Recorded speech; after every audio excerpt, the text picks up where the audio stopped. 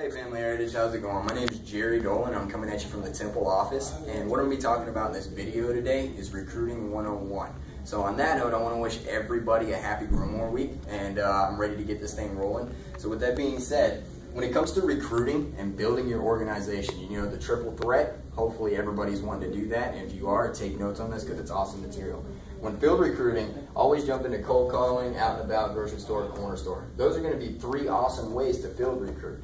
Anybody and everybody you talk to, present them the opportunity. Okay, invite them in for an interview, see what they think about our company. It's an amazing offer. Okay, then you also jump into newspaper, Craigslist, Facebook, Monster.com. I use a lot of this for uh, for my recruiting purposes. You know, when you can stack up 10 to 16 interviews a day, you know, five or six of them are going to show up, and you're going to build your business drastically.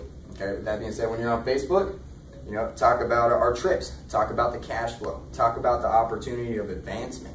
It is, it is so massive. It's, it's, it's great. So next time you're out there and you run into an old friend or anything, talk to them about the opportunity and join us in creating entrepreneurs. Thanks.